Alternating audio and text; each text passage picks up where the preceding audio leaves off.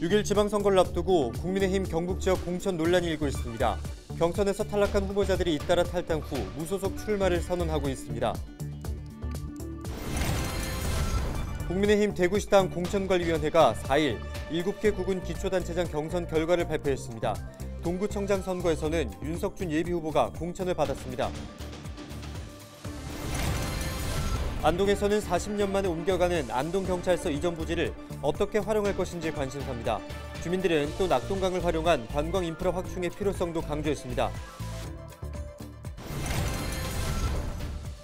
코로나19로 중단됐던 직업계고 학생 해외 현장 학습이 재개됩니다.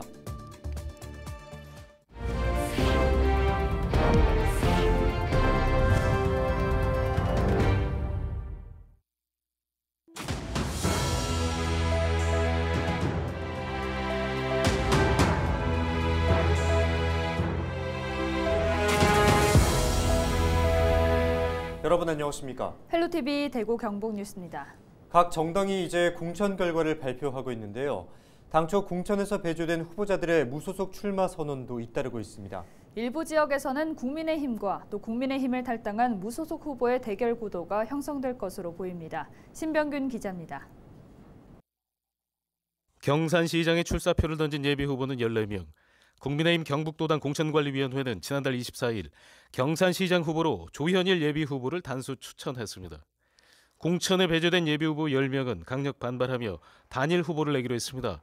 송경창, 오세혁, 정재학 예비 후보 3명이 두 차례 여론조사로 무소속 단일 후보를 결정하기로 했습니다. 국민의힘 조현일 예비 후보와 무소속 단일 후보의 맞대결이 펼쳐질 것으로 전망됩니다. 국민의힘 경북도당 공천관리위원회는 지난달 24일 청도군수 후보로 김하수 예비 후보를 전략 공천했습니다. 경선 없이 후보가 결정되자 경쟁했던 박권현 예비 후보는 무소속 출마를 선언했습니다. 박 예비 후보를 지지하는 당원 천여 명과 함께 국민의힘 경북도당에 탈당계를 제출했습니다. 청도군수 선거 역시 국민의힘과 국민의힘을 탈당한 후보의 1대1 구도가 될 전망입니다. 국민의힘 경북도당 공천관리위원회는 지난달 22일 문경시장 공천 신청자 5명 가운데 신현국 예비후보와 서원 예비후보의 1대1 경선으로 후보를 결정하기로 했습니다. 국민의힘 공천에서 배제된 강수돈, 이응천, 최홍호 예비후보 3명은 즉각 반발하며 무소속 후보 선출을 위한 단일화에 합의했습니다. 문경시장 선거도 국민의힘 공천자와 무소속 후보자의 경쟁이 될 것으로 보입니다. 6일 지방선거를 앞두고 국민의힘 후보 공천 과정에서 잡음이 일면서 만들어진 무소속 연대가 선거에 어떤 영향을 미칠지 관심이 모아지고 있습니다.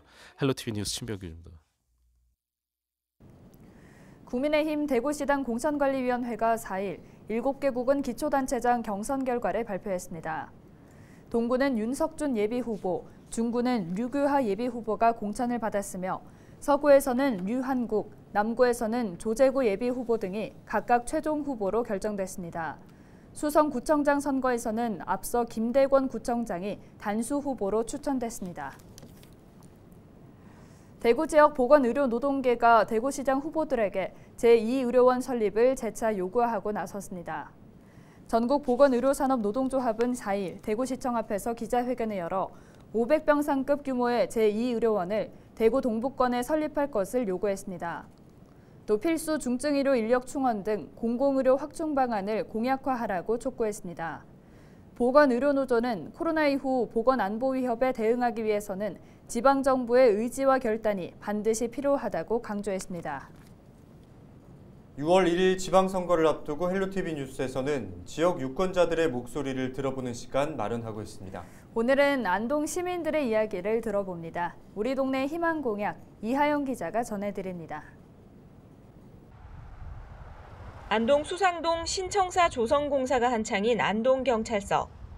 40년 만에 자리를 옮기는 만큼 당북동 현 청사 이전 후 남은 빈자리를 어떻게 활용할 것인가가 주요 관심사입니다. 지금 안동경찰서 자리가 강남동으로 이전할 예정으로 되어 있습니다.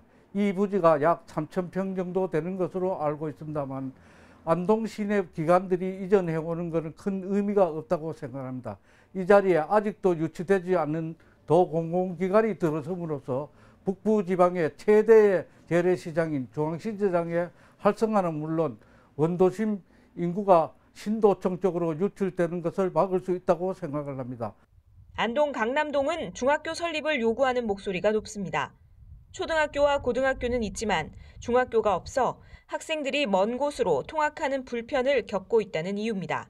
정부에서 교육부에서 이제 그 하고 있는 게 스마트 중학교라고 해- 스마트 학교라고 해서 기존 학교에서 이제 그 전에는 인구가 이제 밀도가 밀리는 쪽에 학교가 있었는데 그 학교를 거기에 있을 존재가 조금 필요치 않는 학교가 있는 걸로 알고 있습니다. 그 학교를 강남 강남 쪽으로 옮겨 와서 스마트 학교를 했으면 좋겠다는 주민으로 생각이고 교육부에도 그렇게 하는 걸로 알고 있습니다. 그 학교를 옮겨오는 게 우리 강남 주민으로서는 바람입니다. 낙동강을 활용한 복지, 관광 인프라를 구축해야 한다는 의견도 나왔습니다. 이제 수년째 나오니까 뭐 이 동네는 이거 쓰고 저 동네는 이거 이래 쓰는 거를 이제는 그러지 말고 좀 모아서 좀 크게 뭐 어떤 종합 타운을 뭐 복지 타운이라든가 이런 걸 건립하자는 그런 취지인데 저는 딱 생각한 게 영어루가 지금 입지 입지 조건이 온잖아요. 도로도 온찮고 작년에는 특히 못 올라갑니다. 그래서 강변에서 엘리베이터를 엘리베이터를 올려서 영어로까지 영어로까지 이제 만들어서 어, 장애인도 접근을 할 수 있고 그 또 전망대식으로 올려서 높이 올려서 전망대식으로 하고 야광 조명을 만들면은 안동시가 완전히 난 달라지리라고 생각합니다. 주민들은 지방선거에 나선 후보자들에게 한 목소리로 활기를 잃어가고 있는 원도심의 활성화 방안을 주문했습니다. 헬로티비 뉴스 이하영입니다. 4일 0시 기준 코로나19 일일 확진자는 대구가 2,484명, 경북이 3,794명으로 집계됐습니다. 대구에서는 현재 14,000여 명이 재택 치료를 받고 있으며 이 가운데 1,300여 명이 집중관리군입니다. 경북은 집중관리 2천여 명을 포함해 모두 2만여 명이 재택 치료 중입니다.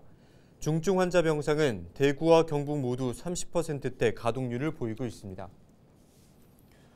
코로나19로 중단됐던 학생 해외 현장 학습이 재개됩니다.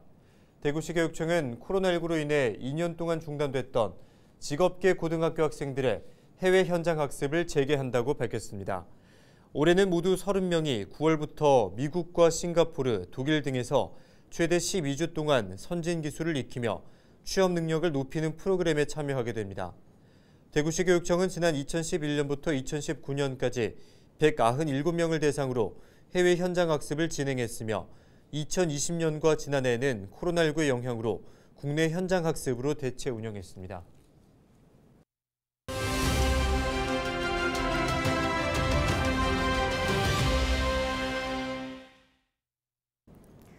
서울 면적의 무려 40%를 잿더미로 만들었던 지난 3월 동해안 산불. 열흘 동안 2만 명 넘는 소방대원들이 밤낮으로 사투를 벌였죠. 당시 산불 지원 업무를 하던 소방관이 유명을 달리하는 안타까운 일도 있었는데요. 지난 1월 평택 냉동창고 신축 공사장 화재 현장에서 소방관 3명이 숨진 것을 비롯해 지난 10년간 임무 중 순직한 소방관은 55명이나 됩니다. 부상자는 4천 명을 훌쩍 넘습니다. 현장 경험이 많은 소방관들도 참혹한 화재 현장을 계속 보게 되면 정신적 충격에 시달릴 수밖에 없다고 하는데요. 5월 4일은 국제 소방관의 날입니다. 호주에서 산불 진화 작업 중 순직한 5명의 소방관을 기리기 위해 제정된 날입니다. 아무리 뜨거운 화염 속이라 해도 어린아이를 감싸 안을 수 있게 해달라는 어느 소방관의 기도처럼 생명과 재산을 지키기 위해 묵묵히 화재에 맞서 싸우는 소방관들. 이 소방관들의 안전을 위해 기도하는 시간을 가져보는 건 어떨까요? 지금까지 데일리 브리핑이었습니다.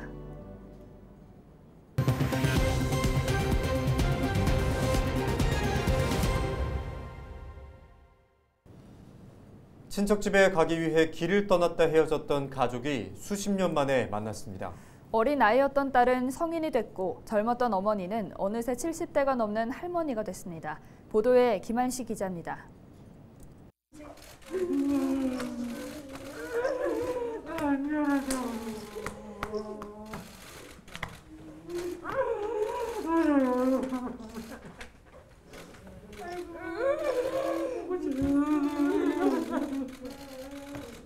얼싸안고 울음을 터뜨리는 어머니와 딸. 모녀가 이렇게 만나기까지 무려 35년이라는 세월이 걸렸습니다. 어렸던 딸은 성인이 됐고 젊었던 어머니는 어느새 할머니가 됐습니다. 아유, 울지 마요, 이제. 아, 너무 야이셨다. 울지 마요. 지난 1987년 당시 7살이었던 박정옥 씨는 친척 집에 가던 도중 가족과 헤어졌습니다. 이후 보육원에서 어린 시절을 보낸 박 씨는 30년 넘게 가족을 그리워하며 살아왔습니다. 제가 아프거나 그러면은 그때 엄마 얼굴이 나오는데 이 모자이크 처리돼 갖고 얼굴을 모르니까 상상이 안 되는 거예요. 아플 때마다 항상 그런 꿈을 꿨어요. 헤어져 살아온 세월만큼 딸의 삶이 궁금합니다. 애들이 몇 살? 아, 큰 애는 지금 초등학교 2학년이고 언니는 다섯 살. 음, 그렇겠군요. 네. 더큰 애도 하나 있어요. 그럼 소이라고? 네. 35년간 헤어졌던 가족의 극적인 상봉은 부산진 경찰서 실종팀의 리멤버 프로젝트 덕분입니다. 박 씨는 올해 2월 경찰서를 찾아와 유전자 등록을 했고 경찰은 조사에 착수했습니다. 박 씨의 신고를 토대로 비슷한 이름과 연령대 556명을 찾아내 일일이 대조했고 신고 3개월여 만에 가족을 찾았습니다. 내가 실종 아동이다라고 이렇게 신고를 주시고 유전자 채취를 하셨고 또 이제 모녀 관계가 맞는지 확인을 조금 해봅시다 이렇게 해가지고 저희가 이제 모녀 관계가 맞다는 회신을 받게 되었습니다. 유전자 검사 결과의 보존 기한은 10년. 이에 따라 경찰은 가족과 헤어졌을 경우 가까운 경찰서에 유전자를 등록해 줄 것을 당부했습니다. 헬로티비 뉴스 김한식입니다. 하루 평균 4만 6천여 대가 대구 외곽 4차 순환도로를 이용하는 것으로 나타났습니다. 한국도로공사 대구경북본부는 지난 3월 31일 개통 이후 한 달 동안 교통량을 조사한 결과 개통 직후 2주간 조사 결과보다 약 1,000대 이상 많아졌다며 지속적으로 교통량이 늘고 있다고 설명했습니다. 특히 주말에는 평균 5만여 대가 이용해 평일보다 10%가량 높게 나타났고 하루 중에는 오후 5시에서 7시 사이 이용률이 높았습니다. 네, 4일 오전 10시 30분쯤 봉화군 춘향면의 야산에서 벌목을 하던 60대 인부 A씨가 나무에 깔려 심정지에 빠지는 사고가 일어났습니다. 현장에서는 인도로를 조성하기 위해 소나무 벌목 작업이 진행 중이었습니다. 경찰과 산림당국은 현장 관리자 등을 대상으로 사고 경위를 조사하고 있습니다. 최근 기온이 높아짐에 따라 경북농업기술원 유기농업연구소가 사과원의 복숭아 순나방 피해가 우려된다며 초기 방제를 철저히 할 것을 당부했습니다. 사과 재배 지역에서 발생하는 복숭아 순나방 성충은 3월 하순부터 나타나기 시작해 새로 난 나뭇잎을 먹어 들어가거나 과실 내부를 갉아먹는 등 연간 4, 5차례 피해를 주고 있습니다. 농기원은 꽃이 떨어진 뒤 5월 상순쯤 그리고 6월 이후에는 과실에 산란하는 시기에 적용 약제를 살표해 방제해야 한다고 강조했습니다. 문경시가 이달부터 전자송달과 자동이체를 이용해 지방세를 납부할 경우 세액 공제 혜택을 확대하기로 했습니다.